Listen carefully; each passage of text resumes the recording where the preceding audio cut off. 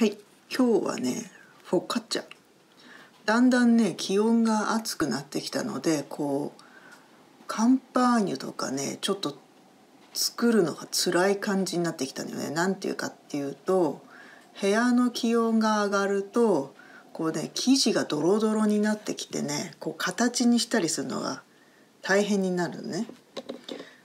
まああの空調がちゃんと効いてるとこだったらいいんだけど寒くすればねでもあんまり夏にこう空調をガンガン効かせて無理やりその気候に合ってないパンを作るっていうのもちょっと違うかなっていう気がするので例えばこうパイ生地とかはさ何て言うの？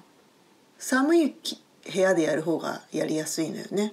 でも日本の夏みたいに蒸し暑いとまずその寒い部屋を作るっていうのがなんかものすごく無理くりな感じもするしね。でうちうちなんか特に南の部屋でなんかもう2階で暑いしちょっと無理なのでえっ、ー、とね夏はね夏っぽいパンをやり、ま、やろうかなと。で夏っぽいパンっていうのはまあそうねイタリア南部イタリアの南部とかね何食べてるかなとか思ったりするとやっぱピザとかフォカチャとかね。ってことでまあ、暑くても簡単にできるフォカチャ。でえっ、ー、とねレシピはね今日はこれ。これはね何をベースにしてるかっていうとねうん。まあ生イースト使うのはいつもののルッツ・ガイスラーさんっていう人ので覚えたことなんだけど私が。ルッツ・ガイスラーさんっていう人がうんドイツ人の、えーと本いろいろ出してる人なんだけどもえー、と前にもなんかいろいろ紹介してるけどね。その人が生イースト使うから、まあ、生イーストを使うレシピが結構好きでそれは真似してます。それからね今回ちょっと水が結構多いんだけどそれはねえっ、ー、とインスタの何さんだったかな？ちょっと後でリンク貼っとくけどアメリカ人で水分をねまあ、小麦粉の量に対して水分を80%くらい入れてる人がいるのね結構生地はねドロドロでその人がすごい美味しそうなフォカッチャを作っててで水分が80%のレシピを載せててあこれはいいなと思ってそれで水分量とかその人のを、えーと、参考にして80%にしてます。でね今日はねまあ、この 1R2R っていうのはちょっと私のメモなんで気にしないでもらって天板1枚分がこれぐらいなのねえっ、ー、と天板 1, 枚1枚分でまあカウントすると大体1キロで私のオーブンは天板1枚分のフォッカッチャができるのでうんこれでやろうと思います。まあ後で天板のサイズとか言うけどねでみんなの定番他みんなの天板がそれより小さかったらそれをこれからへちょっと何パーセントか減らせばいいだけだからね。えー、っとね。で今日はこちら。ちょっと天板3枚分作ろうかなと思うのでこちらね。これ。でえー、こんなまず全粒粉ね。全粒粉こちらね。全粒粉。あこれは全粒のまだ粒ね。こうなんだこれは。なんだこれ。これん？なんか違う種が入ってんのかな？なんだろうね。まあいいや。ちょっとこれ麦っぽくないから外して。ここれはなんだ？お麦の殻だこれ。えっ、ー、とねまあいいや。でこれちょっと粉にするから石臼に電動石臼にかけるからね。えっ、ー、とちょっと待ってねそれでね、まあ、材料の説明ね。えっ、ー、とこれ生イースト。これはね 3g かっこ 1.5g にしてるけど要はね何グラムにするかっていうのはね要は何グラムでもいいわけよね。えっ、ー、とね要はゆっくりはこっち側の数字だと例えば24度でうん245度で8時間ぐらいでできると。でこっちだともっとゆっくりになって半分にしたらもっとゆっくりになっておそらくそうだね。15時間ぐらいかかるのかな。ちょっと分かんないけど。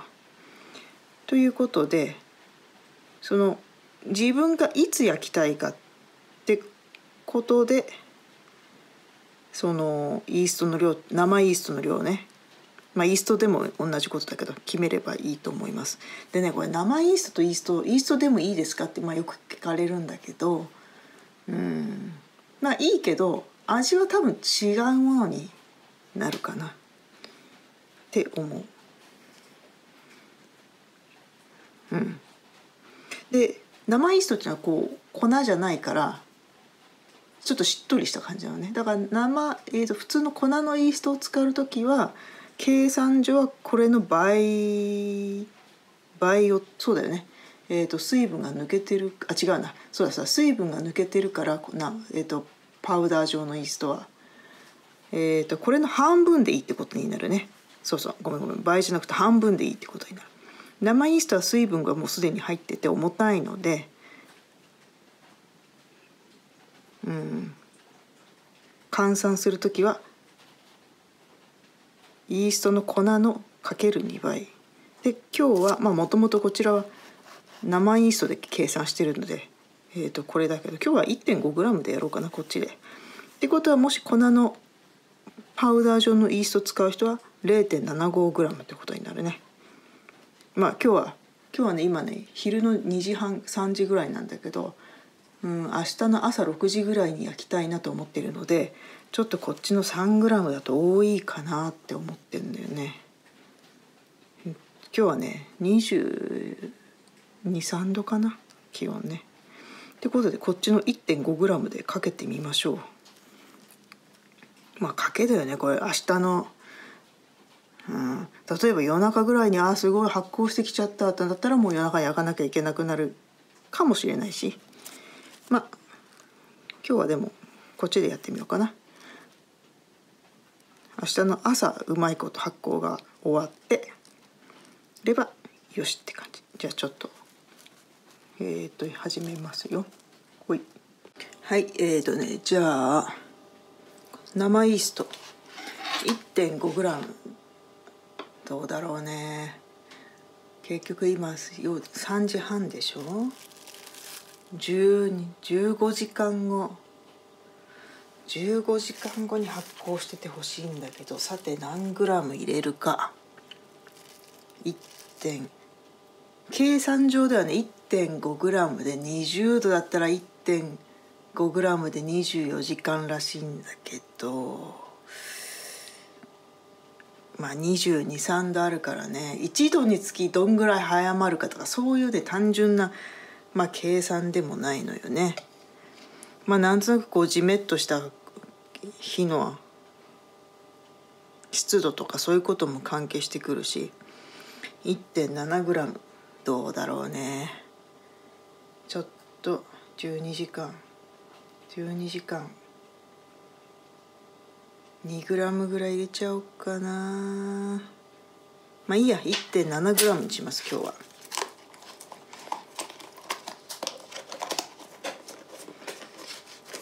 明日の朝焼ければいいんだけどね。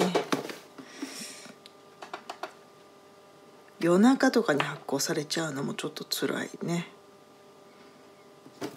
まあ大きい冷蔵庫があればねそれはそれでそこに入れて発酵止められるからそれはそれでいいんだけどちょっと今日はたくさん作るから今日はね天板3枚で天板1枚分に大体 1kg のフォッカッチャなので天板3枚だからまあそこそこの量にはなるわね。えーとね水。水はうーん1374うん。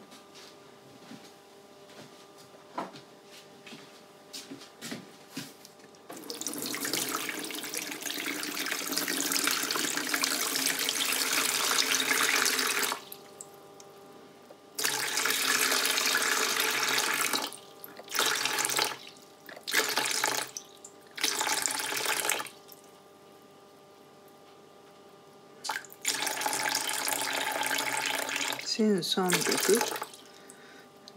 十四。もうちょっとかな。お入れすぎた。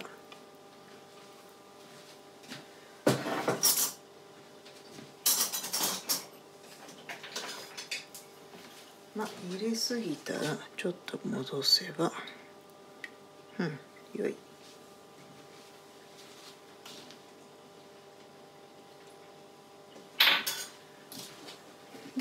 ちょっとこう溶かす。少し待とうかな。ね。あ待ってる。これ溶けるの待ってる間にあれを測ろう。えー、粉。えー、粉はね全粒が150の、えー、今日まあ、今日の話よ。今日は3キロ分だからね。全粒が150の粉が1572か。粉ね測る粉まああのレシピは動画の詳細のところに 1kg 単位1キロ単位ぐらいにで書いておこうかな。1キロ単位1キロのもののレシピを載せておくのでそれを見てください。えー、粉粉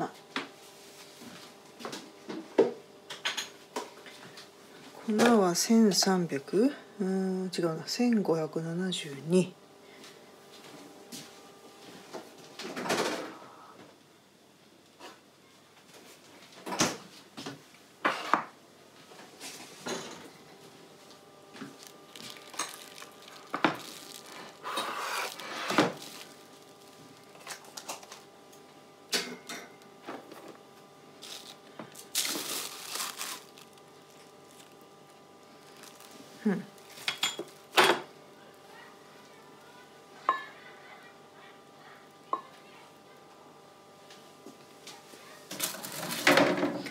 え、っと1570ね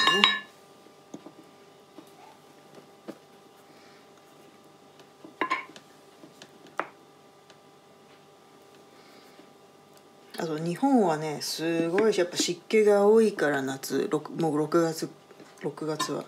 粉はねまあ冷蔵庫に入れられないんだったらまあ基本まあ1キロ単位ぐらいで買うんだったら冷蔵庫に入れた方がいいよね。あのダニが恐ろしいぐらい繁殖すると思うから。コクゾウムシもね。えー、っとね。喋ってると間違えるからね。1572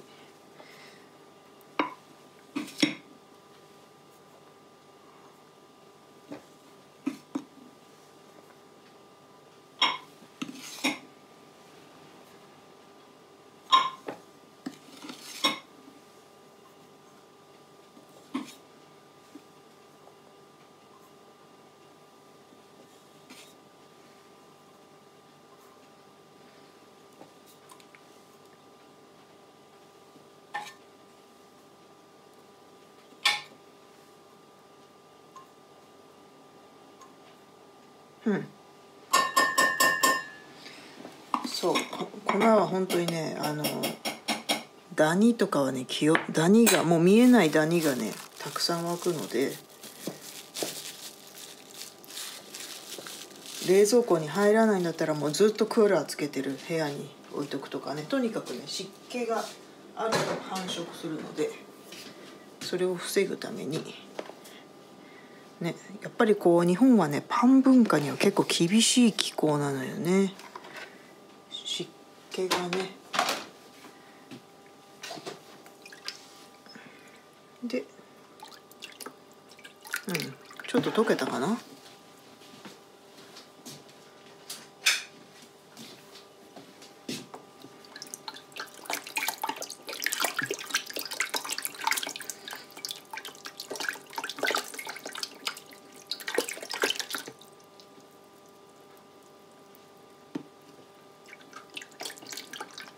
う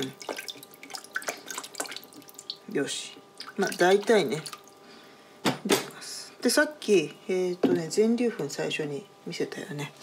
全粒かあれを粉に。電動石臼で粉にしたのでこれをまず入れます。次。これを全部入れます。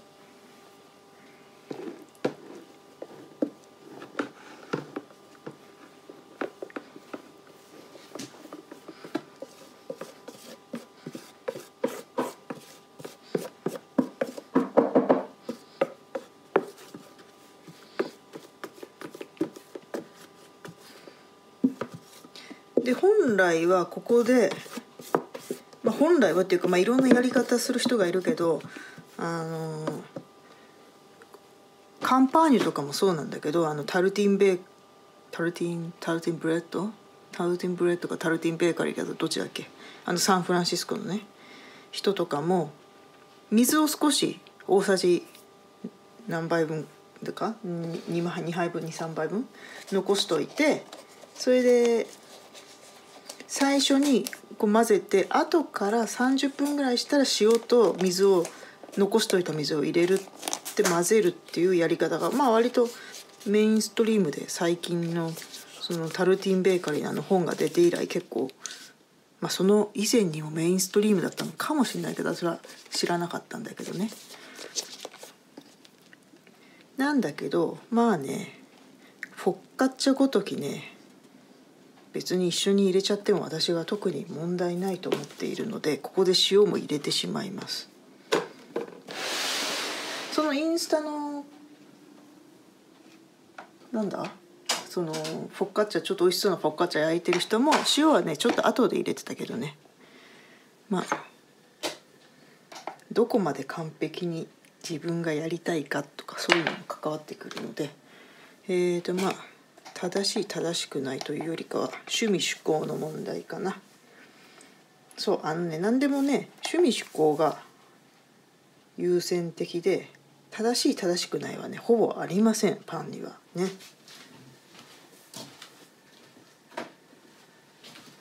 まあ何事もそうかもしれないけどあ塩がなかった。ちょっと待ってね。はいえーと塩ね塩塩。ちょっとこれをまず全部さらってから。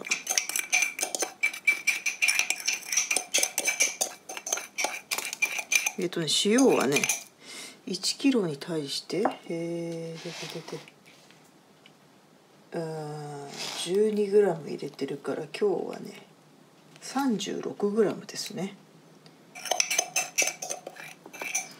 今日は 36g あちなみにねこんな塩使ってます。まあそんな高くない？300300 300円ぐらいだったかな。まあね昔はねあのゲラントの塩とか使ったこともあったんだけどまあね私はそこまで塩の塩が変わった頃おお変わったとかいう味の違いそこまでの味の違いは分かるタイプじゃないのでまあ別にそんな高い塩じゃなくてもいいかなみたいな。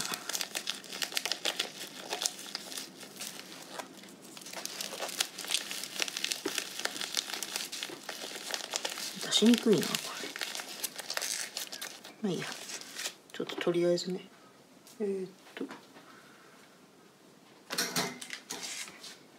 36g の、うん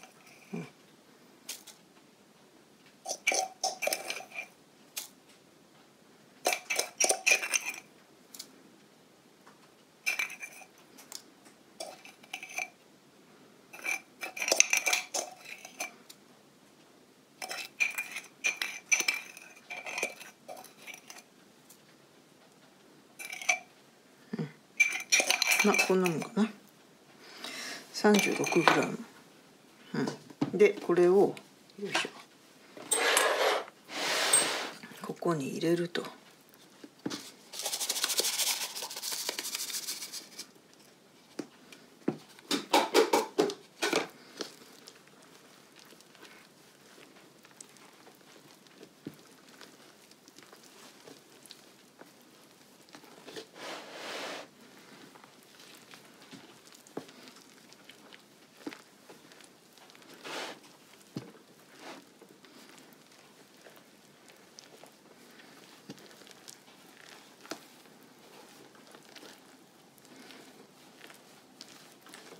まあ、なんとなく混ざったら一旦吸水させるんだけどちょっと待ってね。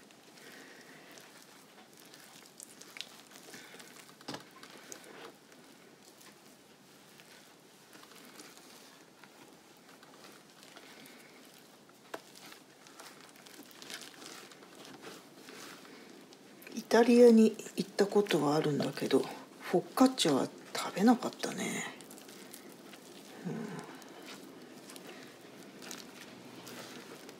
うん、まあでもピザはねどこで食べても美味しかったね。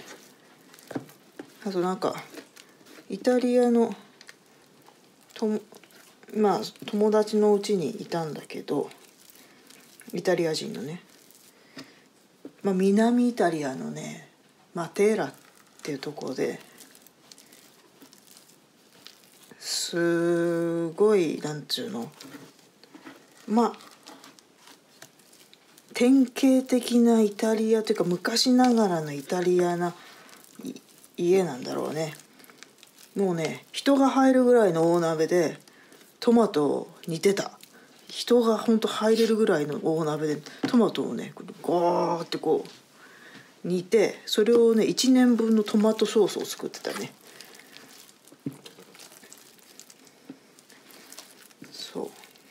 そうでね一日中何かを煮込んでたね。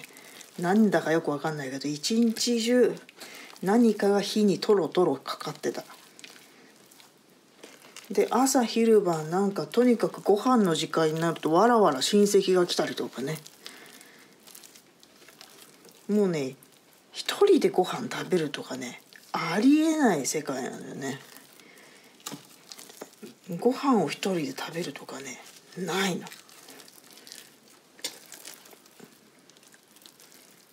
で夜ね夜はねご飯食べたらなんか10時ぐらいに夜10時ぐらいにみんなわらわら出かけて夜こう街に出かけるんだよね。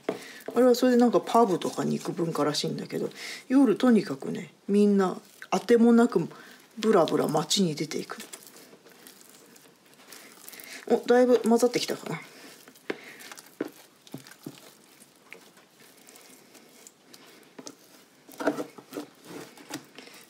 うん。ね結構ドロドロだよね水分が多い。でこれをね一旦ちょっと蓋をしてあの粉に水分を吸わせましょう。えー、っとちょっとあれが欲しいな。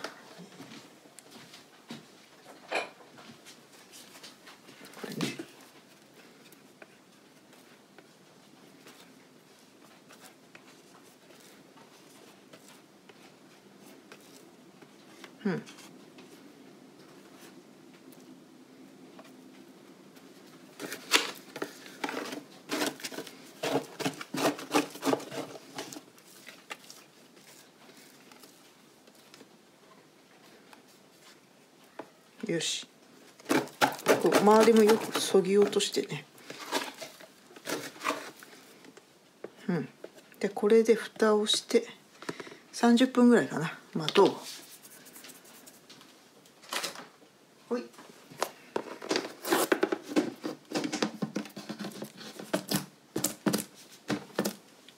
えっ、ー、とね3 3 4 0分経ったかな。ちょっと見てみましょう。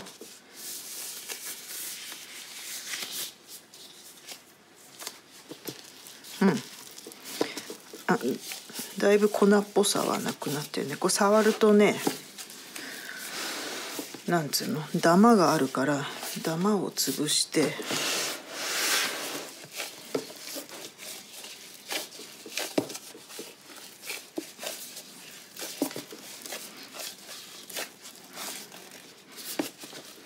まあ、基本的にね水分が多いか少ないかとかだけでどのパンもこの辺の工程は一緒です。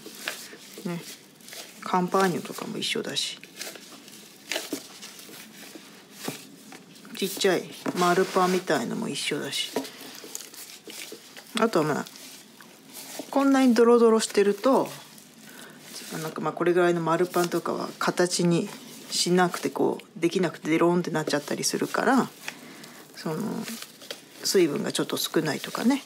あとちょっと甘めにするから砂糖をちょっと入れるとかあのバターを入れるだとかちょっとまあそんな程度で、まあ、どれもねそんなにね大して変わんないねディニッシュとかちょっとやり方が違うけど、まあ、大体はね一緒なのよ。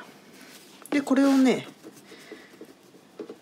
こうあちょっとこの辺の周りについてのそぎ落としてうんこれね触るとね結構ダマがあるのが分かるんだけどまあ1回で全部潰しきれないからまた30分ぐらいしたらやればいいから。うん、この辺にまた。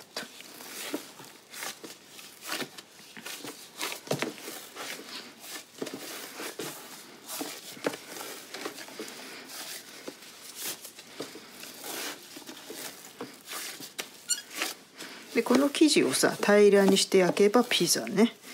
これはまあ天板とかに入れてそれなりの高さ出して焼けばフォッカッでちょっとオリーブオイルかけて焼けばフォッカッチャで、えー、とあとはね、まあ、これぐらいの大きさにちょっと畳んでこうこれぐらいの大きさにして焼くとチャーバターね、まあ、オリーブオイルかけたりとかしてね。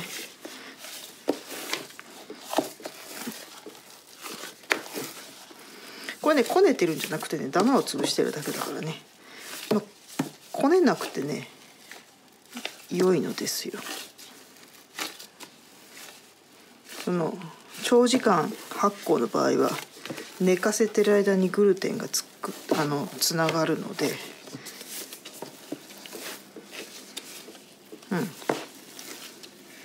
うん。大体いいかな。でまた30分ぐらいして様子見てもう一回ちょっと触ろうかなって思うけど1個ね1回だけだとねやっぱり潰しきれてなかったりするのでまた30分後にちょっと見ましょう。よしじゃあ一旦まあ閉めてまた続きを後ほど。はいじゃあね30分ぐらい経ったからもう一回見てみて。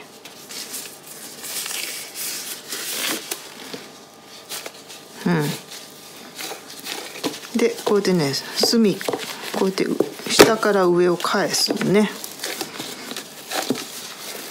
これはねなんでやるんだったっけかね。ちょっとね理由は忘れたけどでもなんとなくねあのこうなんていうの？こうした方がいい感じはするね。それじゃ意味が分かんないだろうけどやってみるとねなんとなく分かる。こうね返したくなるのよこうやって。よし。ダマもないね結構ね。そしたらだいぶいいかな。うん。良いね。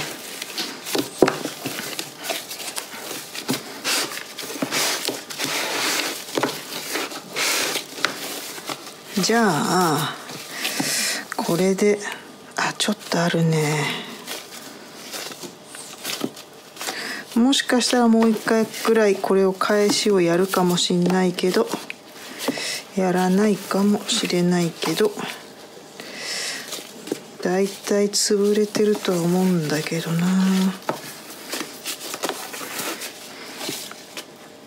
まあちょっとあるけどね。まあ、これで明日の朝まで、えー、と今夕方5時ね。明日の朝まで発酵を待ちましょう。うん。よし。じゃあ12時間後ぐらいかな。ほい。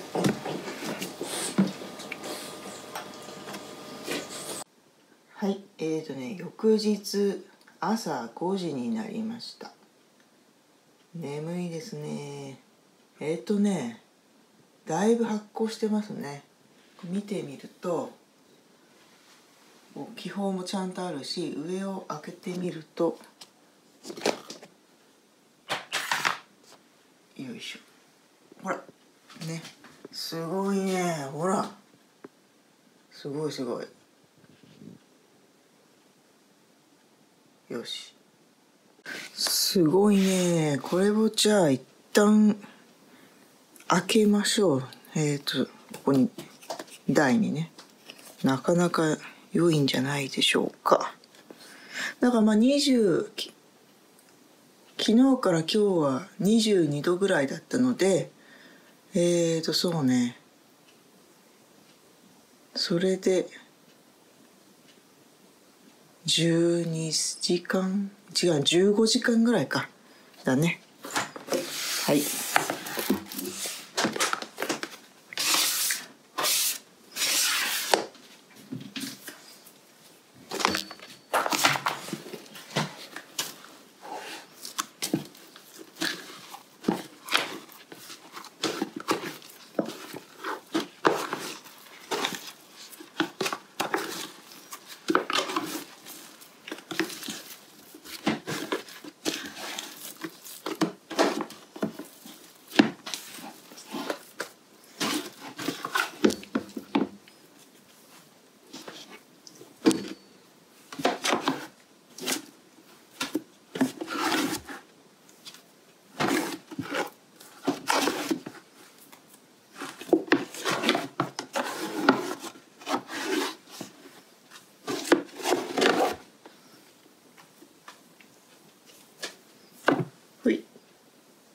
えーとねオーブンシートにちょっと油を塗ります。まあオーブンシート使わなくてもいいんだけどその場合は天板に直接ね油を塗ってちょっとねこっちの方がやり私はやりやすいからちょっとオーブンシートに油を塗りはい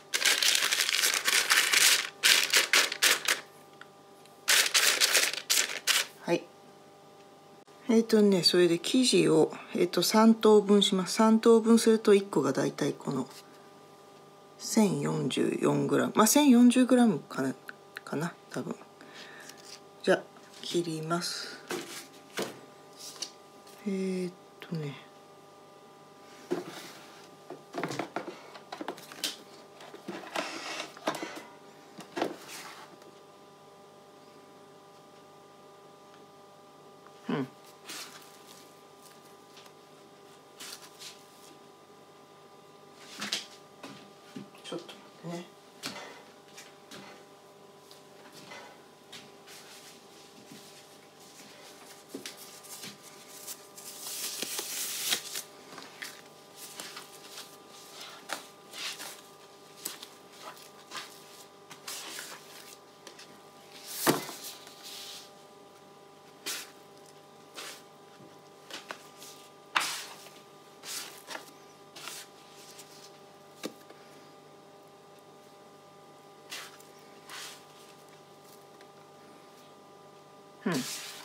れを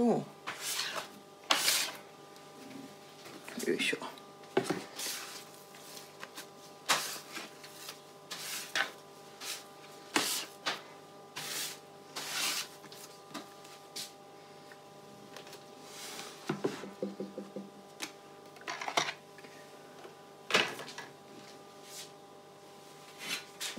ほいんこれかで入れる。ちょっと眠いからね。無口になっちゃいますけど。あら。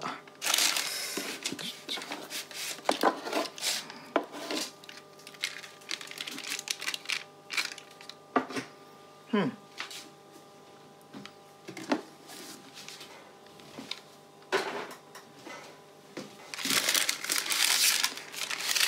で他の2つも同じようにまあこれも2分割してね同じようにしてはいえーとねじゃあこれ平等に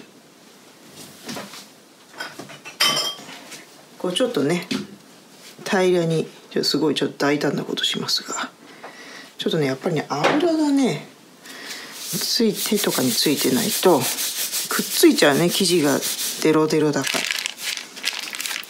これさっきオーブンシートに油敷いたけど、まあ、普通はねパンオーブンシートって油引かなくていいためにあるんだけどこれはねこう一回くっついちゃうとは剥がすのが大変なのでそれで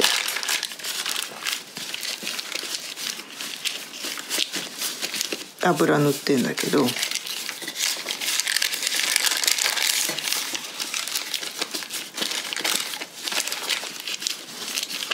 なるべく平らにね。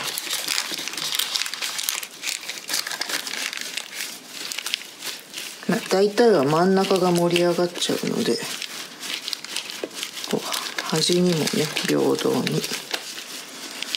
眠くて話せませんねもう。ね。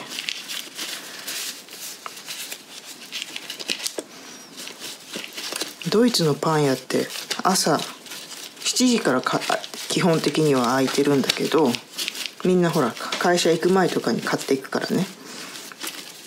まああと家起きてパン屋で買ってみたいな人もいるし朝7時から空いてんだけど、ね、従業員はね夜中の12時とか1時に出勤らしいよね。すごいよね。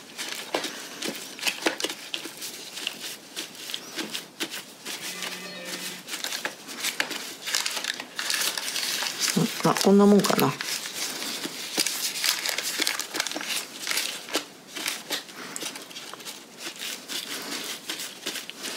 えっ、ー、とねこの天板のサイズね。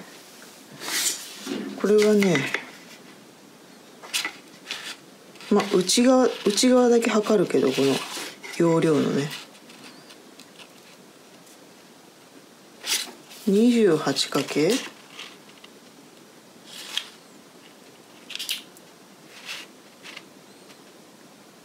28×25 くらいだね。この内側のサイズがね。それで 1040g の生地を入れてるから、まあ、1kg ぐらいの生地を入れてるからまあそれで皆さんの天板もと比較してで生地の量は決めてもらえばいいと思うけど結局ちっちゃい天板にドーンと入れたら高さがどんどん上がっていくだけだけどね。溢れちゃうとあれだから。高さが上がるってことは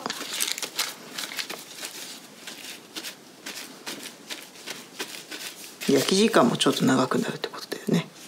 えっ、ー、とねでちょっと油をまあ油いいや。取ってて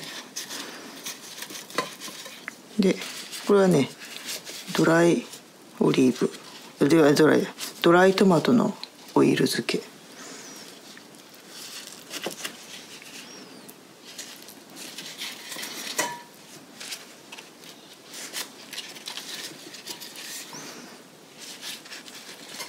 これはねオリーブ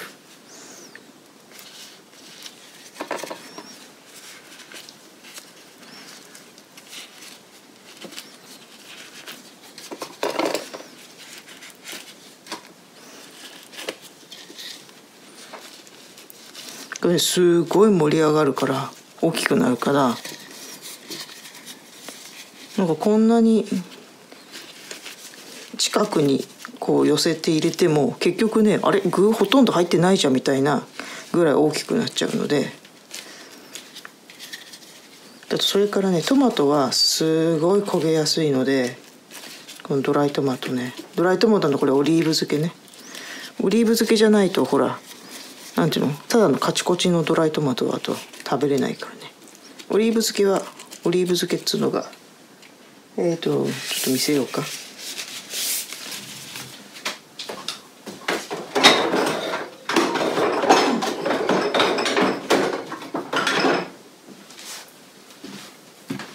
こういうのがねカルディとかに売ってるからこういうのね。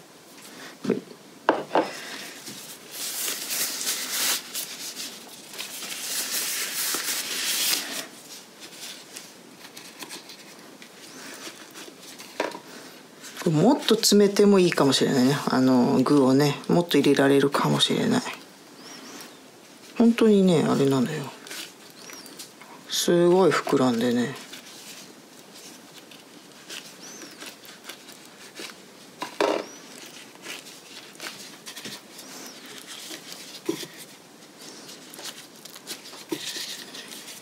を3列にしてもよかったね。まあ今更だ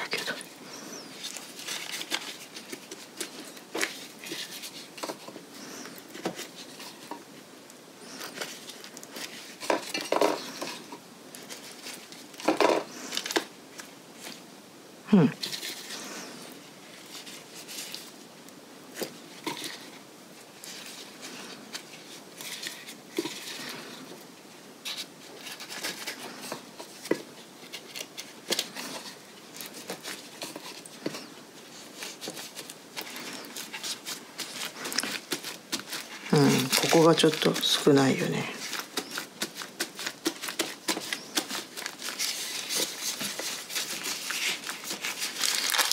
もうちょっと生地量が多くてもいいよね。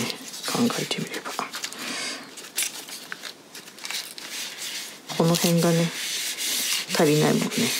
この辺そうね生地量があと10%ぐらい多くてもいいかもね。ここの部分がね平等に来ないから。まあいいや。うん。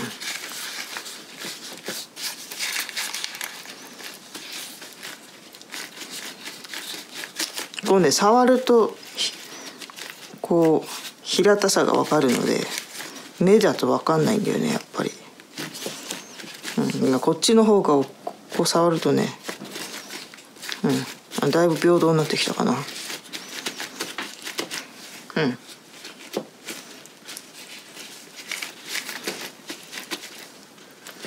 で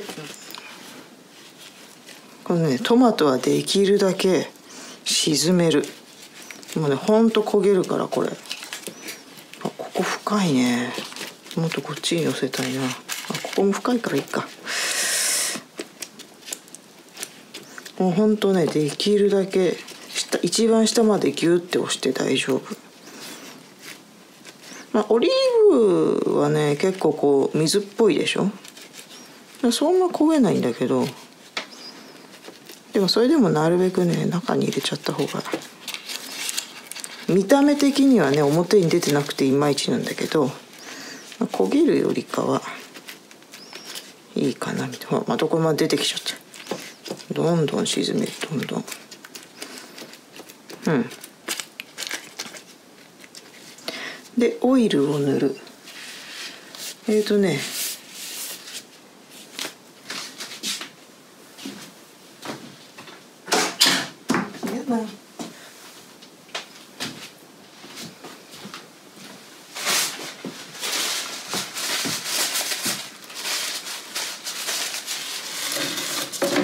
まあオイルオリーブオイルこにジャーってかける人もいるけど私はねそれだと結構多いなって思うので、まあ、今日はたまたまここにこのなんだドライトマトのオリーブ漬けの油があるからこれを使って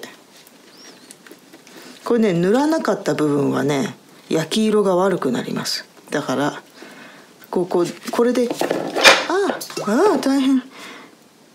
えー、まあいいや。こうこうジャーってかけてもいいんだけどかかってない部分は焼き色がつかなくなるからこうなるべくまんべんなくやる方が私はいいかなと。うんだオイルがこぼれちゃったね。はい。よし出来上がり。じゃあねもう一個はねローズマリーね。ローズマリー。まあこれね買うのはバカらしいからまあ割とその辺にあったりするよね。買うとなんかさちょっとちょっとしか入ってなくてね。これはねうちの庭にうちの庭っていうかプランターにね作ってたやつなんで。まあその辺にあるよね。だってまあ勝手に人んちのを取るわけにはいかないんだけど。うん。まあこんなもんかな。もうちょっといいや。後で。でえっ、とちょっと穴を開けて、まあ、これね上にこうバーって散らす人もいるけど結構やっぱり焦げると思うんだよね。私はまたこれ埋め込み埋め込んでしまいます。ちょっとずつ。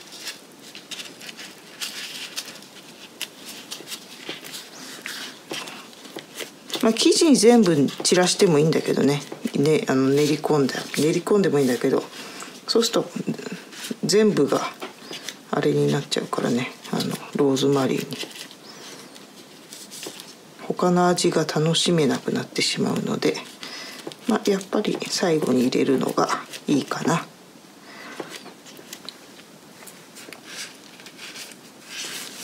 この入れる作業が地味に面倒くさいよね。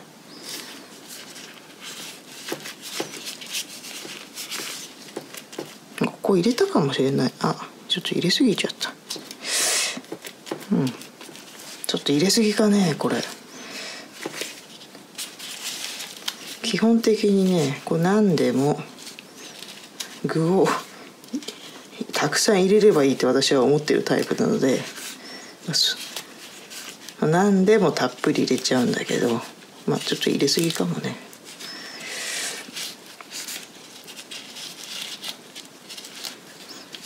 まあこれ結構膨らむからねなんかあのや焼いた時に「あれ?」みたいなこんなにあんなに入れたのにスカスカじゃんみたいなことは結構あるので。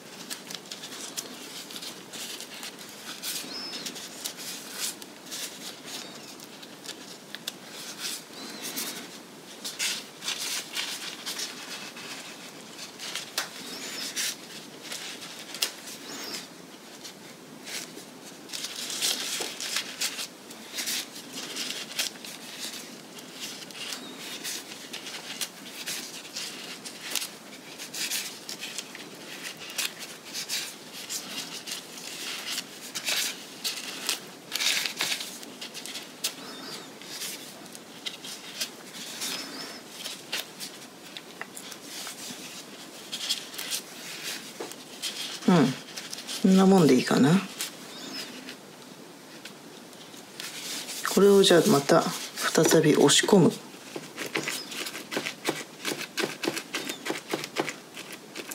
まあ押し込まなくてもね油をたっぷり塗ればうん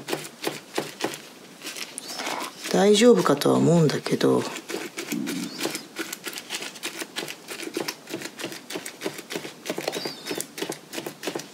油をたっぷり塗るのは結構油あんまり油ぎっしゅなのは日本人に合わないよねあんまりね。日本人にっていう言い方もおかしいけど。まあいいね。いろんな食生活の人がいるからね。こうまとめてひく一括りに何人はって言って言っちゃいけないんだよね本当はね。えー、っとうん。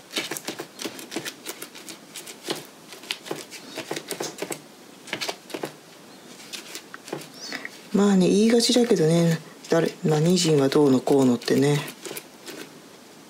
全体の傾向としてね。でもまあ現代的には言っちゃいけないことではありますわね。よし。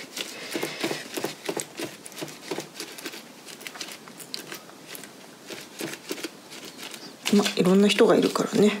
およし。で油をもう一回上に塗っとこうかな。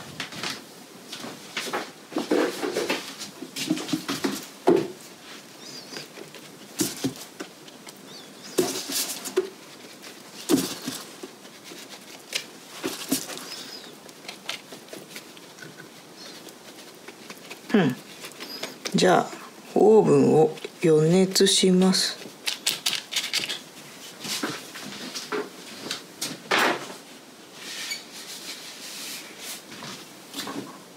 はい今ね予熱は280度。で天板がこんな感じで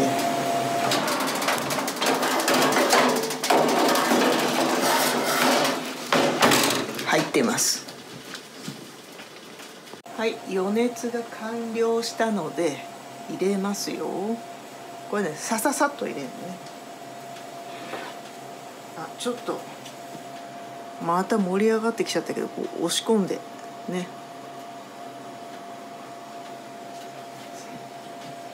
さっと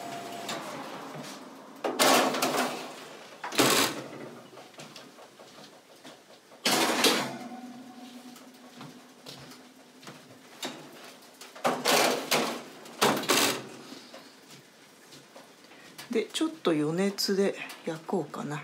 あの窯窯の石窯の状態みたいな感じね。これオンするとファンが回って風が出ちゃうとまああんまりねパンパンは本当はこのビュンビュン風が回んない方がいいんだけど、まあ、家庭用のオーブンだとしょうがないね。これねこれ300度までなるんだけどね300度までやるとねちょっとオーブンシート使ってるから燃えちゃうかなみたいなね。うん。ねこうやってやってるうちにグイグイ。うん。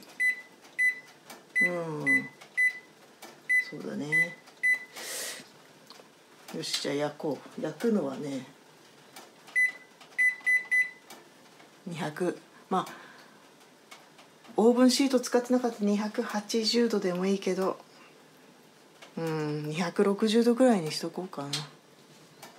本当は300度でがっつり焼いてみたりしたいけどね。でとりあえずね8分で設定してみた。けどまあ電気オーブンの人はもしかしたら20分とかかかるかもしれない。ねこれだとまあ8分10分ぐらいかなって感じだけど。はい。ちょっと6分経過したからちょっと開けてみてみます。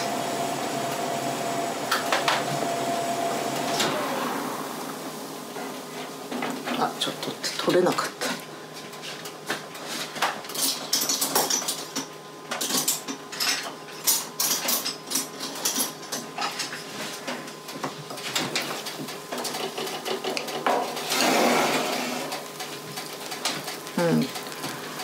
ちょっとこの辺が焦げそうだから場所を移動します。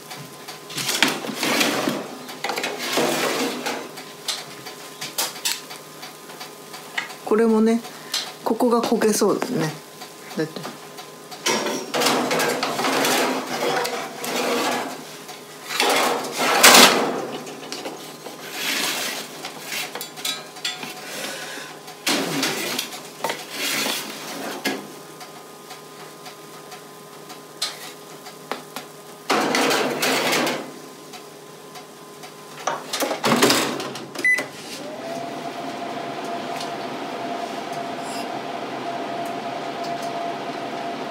じゃあ天地左右天地そうね上下と左右を入れ替えた感じね今。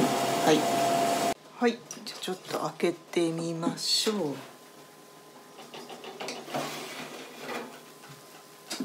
あまあ大体いいかな。ね。ほら。見えるかな？ほい。ほい。ね結構盛り上がった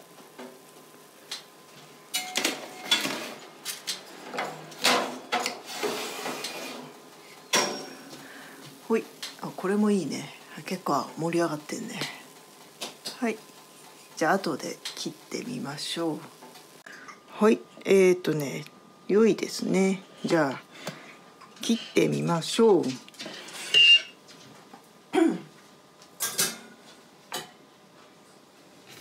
ちょっとまな板が小さいからね。まな板じゃ切れないね。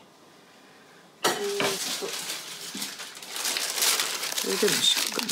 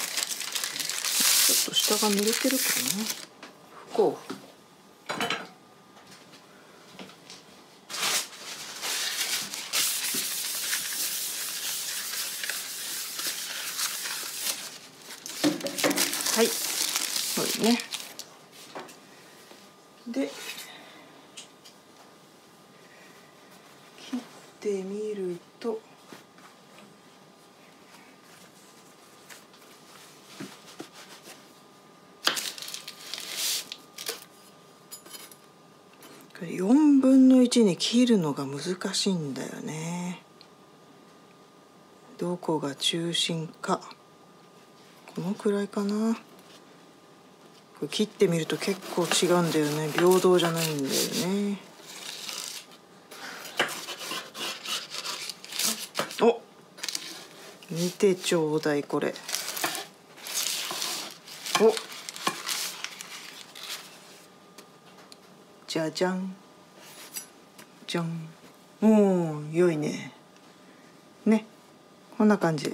水分が多いからね。結構もっちりした感じになります。はい。